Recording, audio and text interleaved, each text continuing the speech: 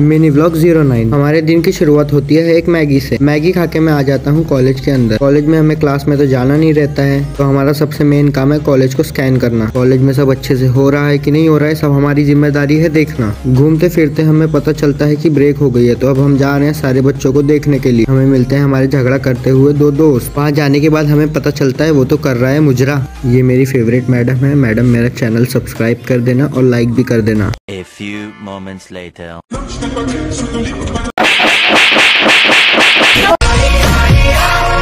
साले को बम से उड़ा दूँगा एक बार हाथ में आ जाए तो। इतना ओवर एक्टिंग नहीं करने का। साले।